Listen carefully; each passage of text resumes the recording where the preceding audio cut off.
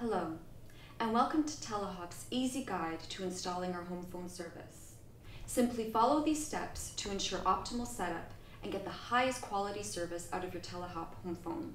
Before we start, please make sure you have a high-speed internet connection active to connect to your ATA. Also, please remember to turn off all your computers, modems, routers, hubs, and switches to avoid potential damage during the installation process. This setup guide is applicable if you have multiple computers connected to the internet using a wireless router. If you have a hardline router, please see our guide on connecting your ATA with multiple computers and a hardline router. If you have only one computer on your network, please see our guide on connecting your ATA with one computer.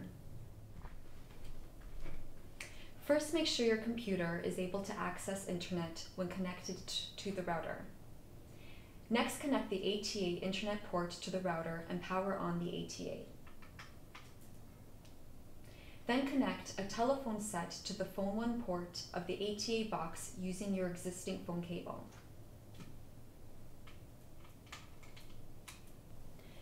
Next, power on your ATA by plugging it into a power outlet. Wait 5 minutes for the three lights to be lit on the ATA. Your service is now active. Pick up the phone and start making phone calls.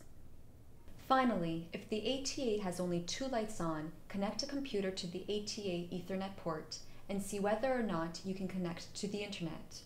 If you can, please contact Telehop technical support.